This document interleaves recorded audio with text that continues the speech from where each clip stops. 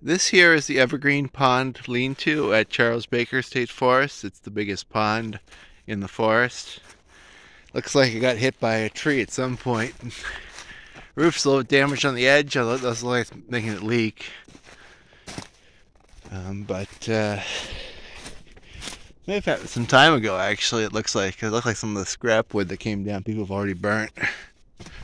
But, yeah, so here's lean-to. It's not bad. It's I wouldn't say it's the nicest lean-to ever. I don't know why they didn't close off the uh, edge there so you get cold air blowing in, but that's the design. Looks like it's well used, well graffitied. Got an outhouse over there, and overlooks the uh, Evergreen Pond here at, uh, which is the biggest pond, Charles Baker State Forest.